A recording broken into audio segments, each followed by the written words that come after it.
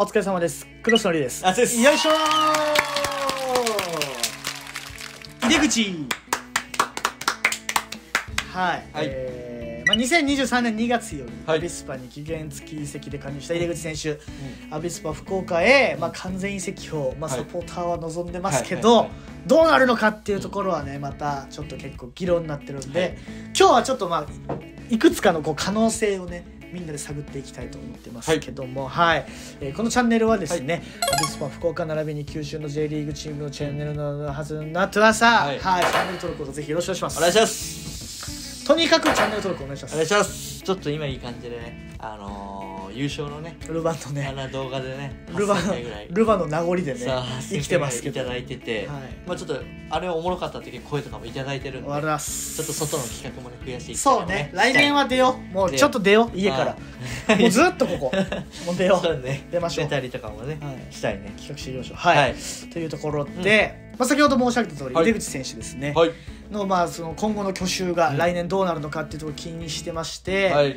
まあ、アビスパへの完全移籍、うん。もしくはセルティックへの復帰、もしくはまあ J1 クラブへの移籍っていうところ、まあまあどれもありえる感じなんでうん。一個一個いきたいと思うんですけど、そうねまずセルティックの復帰なんですけども、復帰の線はうん。俺は正直薄い気がしてまますあまあと。そうね、まあ、一回やっぱこのセルティックで、まあう、ん。使われなかったっていうのがあるから、まあ、今めちゃくちゃアビスパではいいんやけどまたセルティックでうこう使われるのか、まあ、セルティックが必要とするのかっていうところは、なかなか俺は難しいんじゃないかなと思ってて、まあ、旗手選手もいますし、まああそことのポジション争いっていうところもなんか旗手の方がセルティックの評価高そうやしね。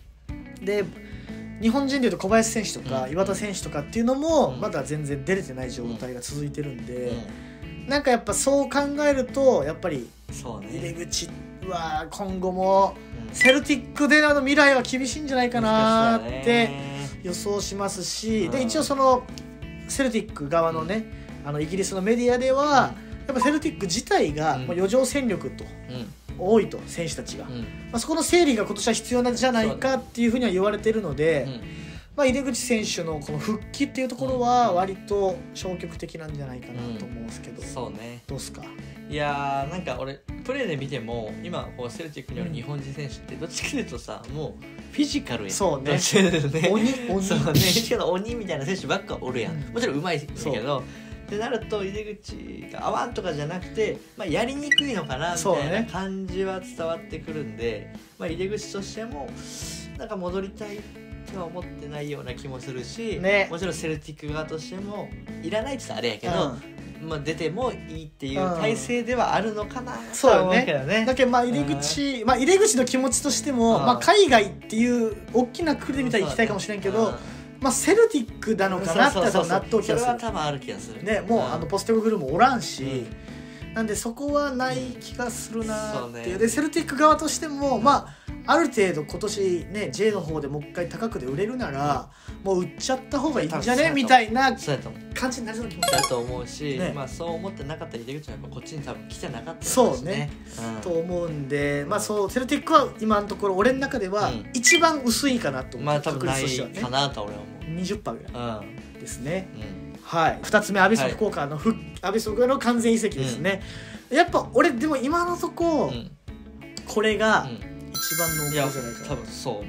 そのまあそのアビスパのとしての気持ちというよりは、はい。やっぱりタイトル取れたって大きいのかなと思ってて、うんうんうん。入江口選手もやっぱこう出番ない中で、ね。こうこっちに来て、うん。まあ、再起をかけてるっていうところで、しっかり出番も得て、うんえまあ、長谷部監督からも信頼されて、ねでルヴァンカップ取れましたっていうのは、まあ、結構やりがいとしてはあると思うんであとはだけど本当に金額さえ折り合えばうん一番濃厚じゃなうんい？いやーここや本当に多分一番。そこだけや。なうん多分セルティックはいいって言うと思うんやけどあそう。金額が払えるのであればってそういうところやね。それで言うとセルティックが入り口を獲得した時の金額がはい。85万ポンド、はい。約1億2750億円なんですよね、うなんでまあその前後になるのかなと思ってて、ただまあアビスパとしてはもちろん交渉するじゃないですか、もう使わないっすよねんみたいな、うんうん。ぜひうちにくださいと、うんでもやっぱり入り口が今シーズン良すぎたから、金額多分ね強気に出ると思うセルティックは、まあいやいやでも金額は下げないですよみたいな、なんなら1億5000万でとか、そういう話にもなる気がしちゃって、うんだって多分アビスパ以外にもいや J クラブに売れますしみたいなうん。出せます？オタク、うん。みたいな強気な感じかなとは思うよね。うそこの折り合いアビスパがどんだけつけれるか、ん。そうね。マネーゲームになる気がするけどうんうんね、で井出口選手としては、はい。まあ、福岡に住んでたこともあって生活面ではもう満足まあそうね。してるところなんで、うん。まあ、あと何よりアビスパのサッカーにはまってるんじゃないかなと思うんで、まあ俺は本人的にはやっぱりアビスパに来た方が来年以降も充実したうん。シーズンは間違いなく送れるんじゃないかなと思うよね。うただあとはまあ代表復帰がどうなるんいやそうねそういうところがアビスパに残ることによって果たしてできるのかとそうなのよ。かそうなのよ。そうね。その辺もやっぱ井出口選手レベルになると考えちゃうよね。年齢的にはやっぱもうちょっとねあとリミねットは23年勝負やろ多分。分やろうね。そこまでやっぱ考えるよね。ます今年はやねっぱり1年ねレンタルっていうのだけそうここでちょっとね引き返せればみたいなところで来たっていうのはあるやろうね。まあ、そういう意味で本当に勢い引き返したけうん。こそ難しくなってる、ね、そうそう。もうちょっと活躍してなければうんもうちょっと安くで買えたかもしれそうない。けどそうね。安くで買えたし井出口選手もやっぱ俺まだまだ戻れてないっていうのでこうアビスパにもう一年っていうのがああるかもしれないですね。難しい、まあまあ難しいですねアビスパうん。の福岡で3つ目、はい。まあ、J のタクラブ予想ですけどうん。はいはいねまあやっぱり今シーズンの活躍見たら、うん。まあ他の J1 クラブからのオファーって、まあ、ほぼ俺間違いないと思ってて、はいはいはい。まあもちろん日本代表で活躍してたって実績もあるし、で今シーズンあれだけチームのために戦えますよっていうところも見せたんで、まあ、ガンバうん。名古屋はい。神戸、はい。横浜 F・ マリノス、ん。あたりは、まうん。あ、あってもおかしくないんじゃないかなと思うんですよ、まあ買えますしこの辺だったら、うん。さっき言った1億5000万とうね。まあ、出せるチームだし、うん。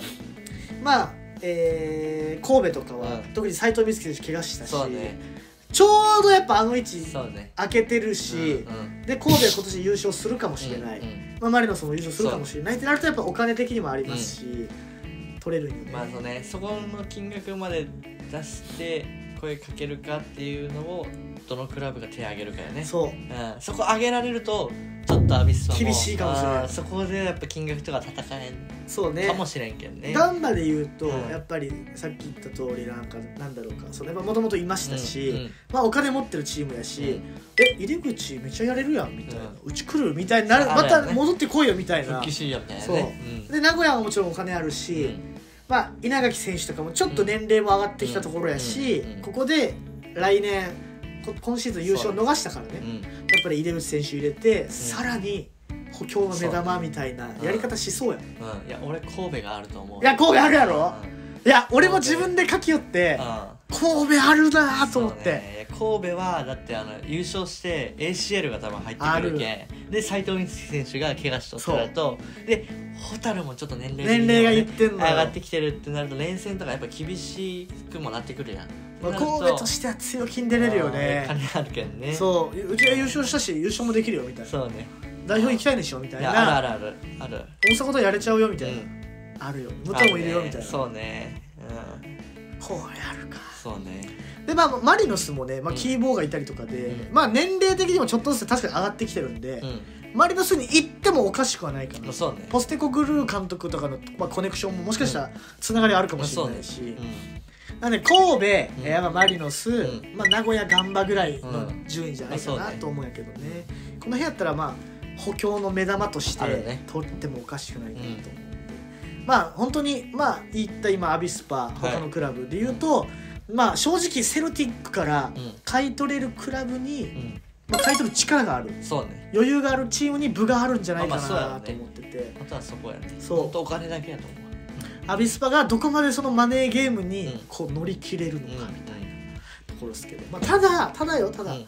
アビスパの来季のその戦力の補強のね、うんランクで言うと、うん。俺入れ口って一番上と思うよ今、まあそうね。他のチームからこれこれ取ってこようとかいろいろあると思うけど、入れ口が今一番上じゃないかなと思って、今シーズンの活躍見ても、逆にまあ1億5000万出すけど、もう今シーズン活躍して来年ももう間違いないやん、うん。うん今からあの人が悪くなる絵なんて全く見えんし、まあまあまあ。まあうんそうなったら俺入り口にそのマネーゲーム乗る価値はあるんかな。まあどんぐらいかやね本当に。まああの今ねおる選手たちのね継続もせないからけど、ね、ちょっと上げないかんやそう。ろけん間違いなくみんな上がるけんね。そうそうそう。そことの予算との兼ね合いがね。移籍金は多分最高2億よ多分本当に。はいはいはい入り口。うんはい。2億はきつかろう、まあでも一応5000万でセルティック買っとって、まあ名古屋うん。神戸とかとセルって考えたらうん。うん2億あるよ多分。まあまあでも最低限のねそうね金額さえアビスパが出せればね入り口の意思的にはアビスパって言ってくれそうな気はするけど、まあでもうん。それでも神戸がうん。1億5000万でそいやなんとか1億5000出しますってうん。神戸が。じゃあとりあえず2億っつったらうん。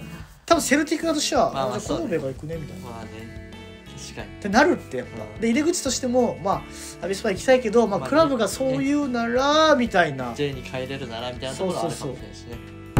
ありますけどまあ楽しみですね、はい。本当にマネーゲームの要素を呈しております。うん。入口選手アビスパでお待ちしております。はい。お願いします。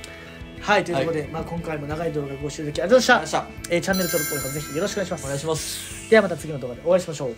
バイバーイ